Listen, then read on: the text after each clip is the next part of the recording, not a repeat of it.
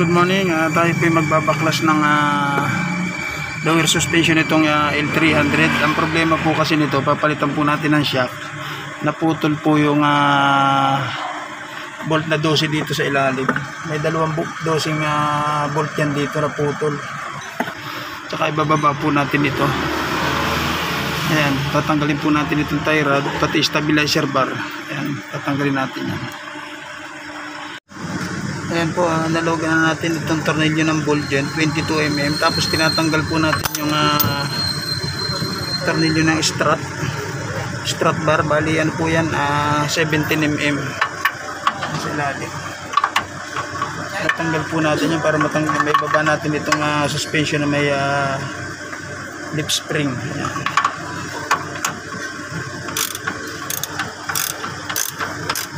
Bali dalawang piraso po yan. Tapos uh, ayan, lulugan po natin yung uh, 22 doon sa tornilyo ng suspension sa loob yung ulo na yan no?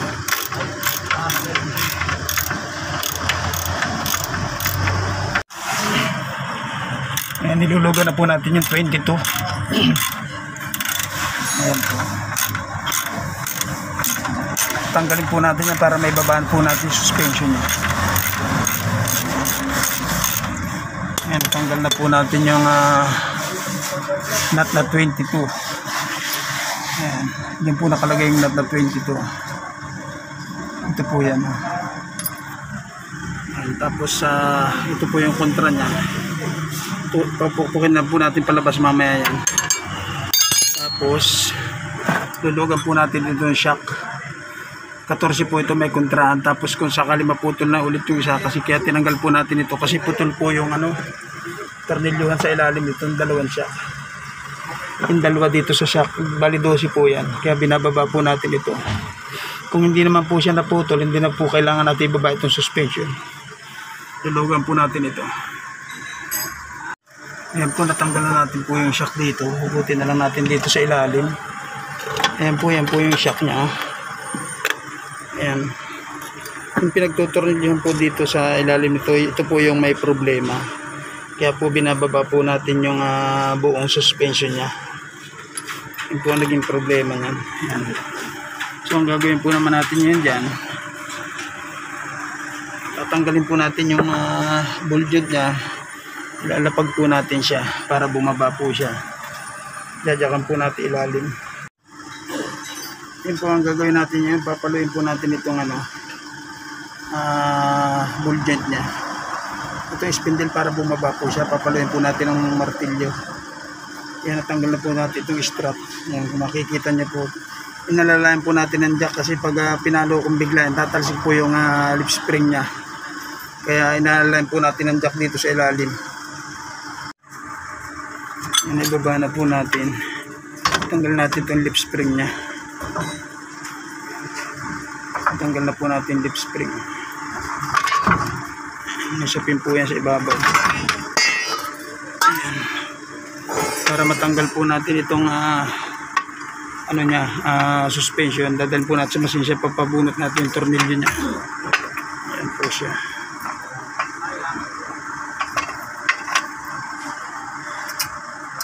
Tatanggalin na po natin suspension. Nabunot na po natin yung bolt niya yun po ang technique sa pagtanggal nito. Hugutin po natin yung hugot na po siya. Ayan. Ito po yung naging problema niya. Ito po yung tornilyuhan niya. Itong tornilyo na po kung mapapansin niyo po. Basta putol oh. Putol po siya. Kaya papamasin shop natin. Papabunot natin yan. Dadali na po natin sa machine shop. A few moments later. Hello guys, ito na po yung ah, pinatanggal nating ah, putol na bolt dito sa tornilyo ng ah, shock absorber sa harap. Itong ah, L300. Ah, kung makikita niyo po wala siyang suspension. So ikakabit na po natin ito. Ikakabit na po natin itong ano niya, ah, suspension ulit. Tapos ah, papalitan din po natin yung ah, tornilyo ng ah, shock nito sa ilalim. Papansin niyo po. Ayan. Ipupurma na po natin. Ibabalik na rin natin doon. Ayan po, ah, nilagyan na po natin yung ah, bolt. Ayan. Ilalagay po natin yung ah, kanyang uh, 22 na bolt sa likod. Po yan. Ito po yung kontra niya. Ayan, dito nakalikod, nakalagay sa likod yan. Kung mapapansin niyo po, binasa po ng ah, langis yan. Ayan.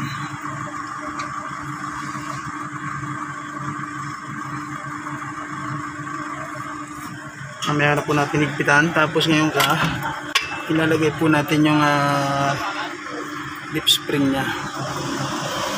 Ito po yung lip stri- spring niya. Ialay na po natin to. Tapos ah, paglagay po natin to, jajakan din natin para mailagay po natin to. Ayan.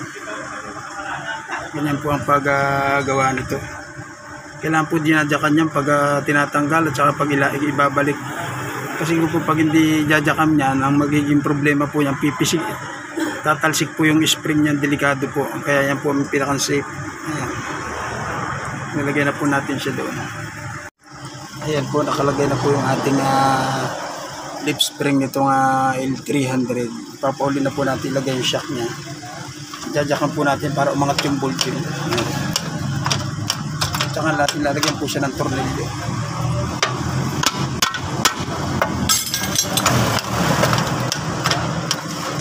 bababa po natin ng konti itong ayan, bumaba na po siya saka natin siya lalagyan ng tornilyo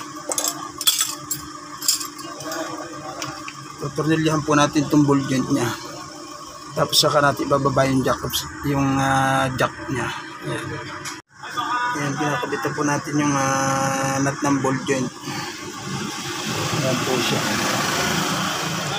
Kapit na po yung nut ng ball joint niya. Lalapat na po natin siya guys.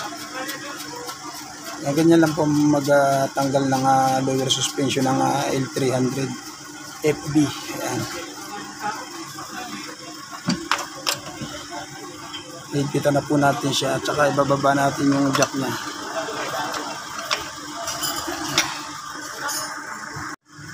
and guys ah, nilagyan na po natin tong ano ah stopper niya. Sinikwatan lang po natin yan para malagyan na po natin ng tornilyo sa ilalim. Lalagyan na po natin ng tornilyo. Bali 17 po ang ah, tornilyo nito. Tapos higpitan natin at saka ilalagay itong ah, stabilizer uh, clamp bushing niya. Tapos itong ah, shock, ipapahuli po natin ilagay ito. Yan. Ganyan lang po ang diskarte niya. Kailangan ay ah, may jack talaga tayo. Tapos higpitan na natin lahat ng mga tornilyo after nyan. Ayan. Ito po ilalagay natin mamaya. Ayan. Stabilizer niya, clamp. May bushing po ito. Tapos po itong ah, shock niya.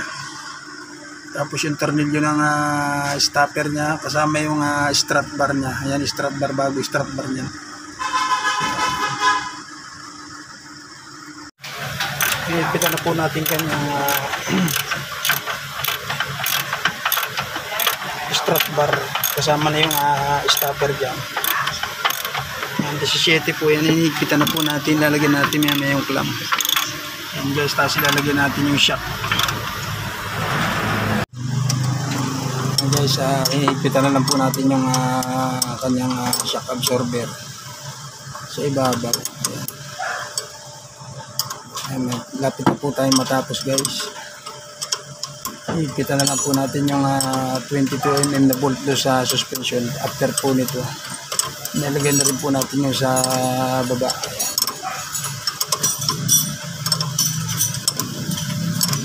Kung gusto nyo po mag-DIY, kaya-kaya nyo po itong ah, gawin. Basta meron po kayong tools.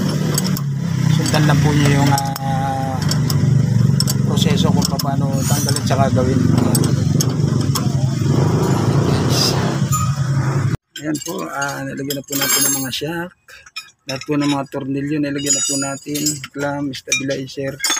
Tsaka po itong uh, tie rod end, lower bolt yun. Nilagyan na po natin ng pin. Higpitan na po natin siya. Ayan guys, ah, okay na po ang ating ginawa. Ayan, ganyan lang po ang paggawa ng ah, lower suspension na pagtanggal ko sakali mag, mangyari po ito sa inyo. Pag ah, naputol po ang ah, bolt na siya lower shock niya. Ayan, yung tornilyo sa lower ah, suspension niya kung naputol yan. Okay na po. Maraming salamat po. Kung bago pa lang po kayo sa aking channel, please like and subscribe doon underscore Mechanical TV. Ayan. Okay na po. Maraming salamat po.